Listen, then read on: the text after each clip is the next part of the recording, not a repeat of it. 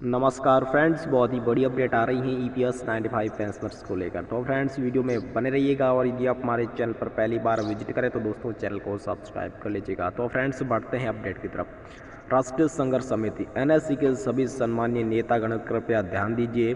सभी तथ्य व हमारे E P S ninety five पेंशनरों की भावनाओं को ध्यान में रखते हुए कर्मचारी भविष्य निधि संगठन की अन्यायपूर्ण व्यवहार के विरोध में सभी ई पी एफ़ ओ कार्यालयों में 6 अप्रैल 2021 को ज्ञापन प्रस्तुत करने का देशव्यापी कार्यक्रम की नोटिस माननीय श्रम मंत्री जी, माननीय कानून और न्याय मंत्री, माननीय सेंट्रल प्रोविडेंट फंड कमिश्नर और ईपीएफओ के सभी एससीपीएफसी और आरपीएफसी कार्यालयों में दिनांक 30 तीन 2021 को ईमेल द्वारा सभी उचित कागजों के पत्रों के साथ भेज दी गई हैं। ईमेल संदेश में ये भी अनुरोध किया गया है कि ई पी पेंशनरों को जल्द से जल्द और अप्रैल पाँच, दो हज़ार इक्कीस से पहले न्याय किया जाए।